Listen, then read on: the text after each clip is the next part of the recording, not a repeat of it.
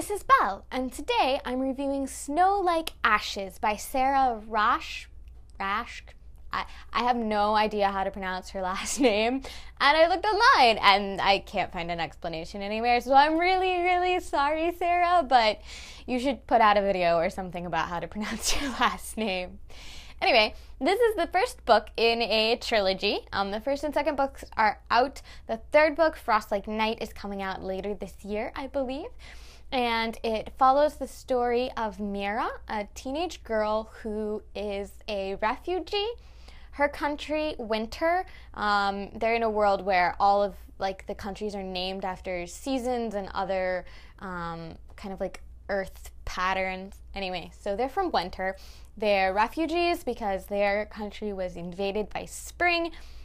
Most people were killed or taken into slavery, but there's a small band of them who escaped with the baby king.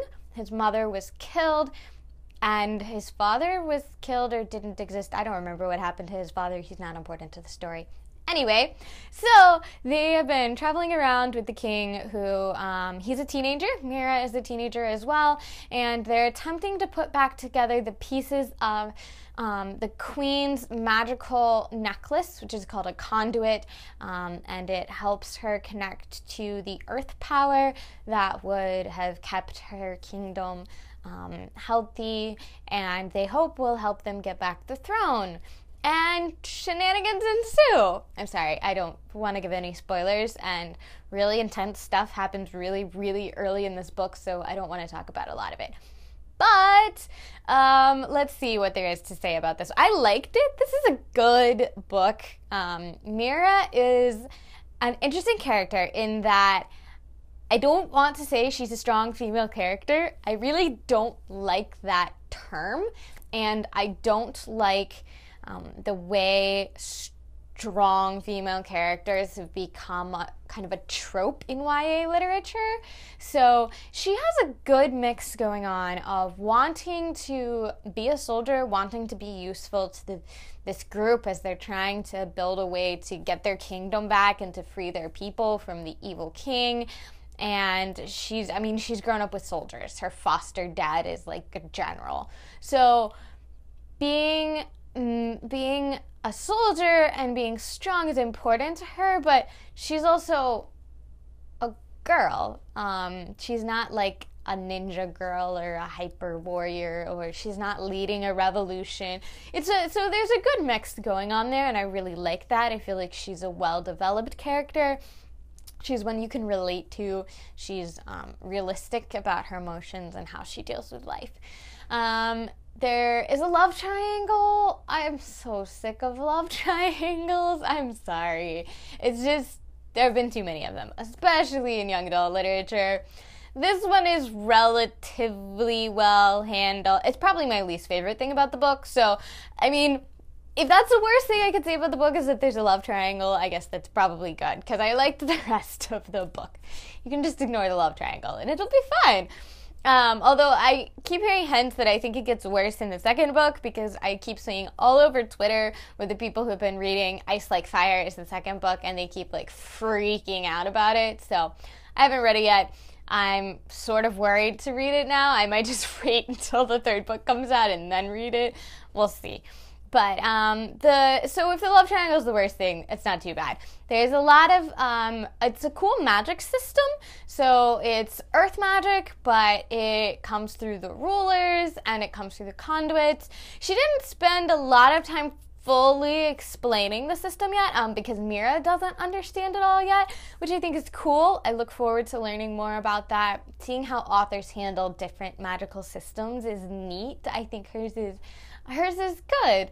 Um, the Evil King is also a little bit of a trope that. He, the magic system, but especially Evil King, reminds me a good bit of um, Sauron and the rings of Lord of the Rings, but it's not too bad. I mean, it's it's different. That it just it reminds me of that. So I I don't have a lot more to say about it. It's a good start to a trilogy. So it'll I'll have a more conclusive idea when I read the second book and obviously when I finish the whole trilogy.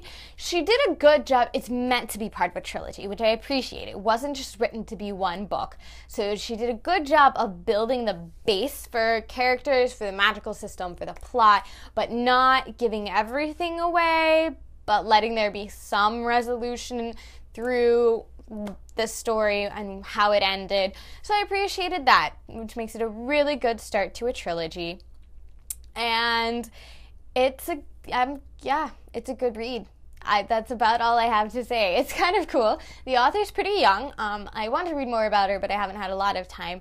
She's um, 24 or 25, so not that much older than I am, and she has a really successful young adult trilogy out, which is incredibly cool. I'm super happy for her. That's neat to see people my age. Um, achieving things and getting national recognition for it and being able to write something that's really worthwhile. It's a really good read.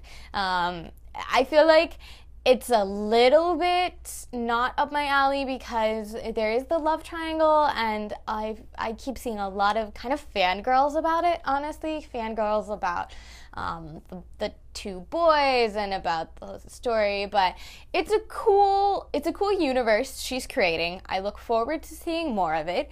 She did a good job with the first book it's sounding like the second book builds on that. It's not just kind of a placeholder between the first and the third. So, if that's true, kudos to her. I'm looking forward to reading it. Definitely recommend this to you, um, especially if you're interested in YA and YA fantasy. Um, even if you're not, it's a it's a good fantasy book. It's a good read, I think, for anyone. Like I said, there's the love triangle. I mean, we are talking about teenagers, but the plot moves along. There's some neat moments. Um, I don't, I, well, I don't really want to say where because I don't want to give away too much of the story. But there's some neat moments talking about identity and about story and how that's important in our lives.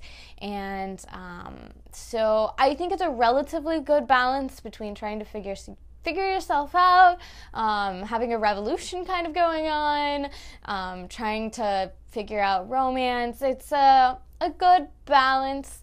Um, not necessarily the balance you have in a normal teenage life, since most teenagers aren't leading a revolution, but there are lots of twists and turns in the book. Um, most of them I saw coming, but not all of them, and she did a good job with them. So, you know, not too much foreshadowing. Um, so yeah, a good solid three or four out of five. I really looking forward to seeing what she does with the rest of the trilogy, and I totally recommend this to any of you. If you have read Snow Like Ashes or Ice Like Fire, let me know in the comments. I'd love to know what you think. Um, no spoilers please if you're gonna do spoilers email me or go like talk to me on my blog or something. But um, love to know what you think about those and love to know what else you've been reading. Let me know in the comments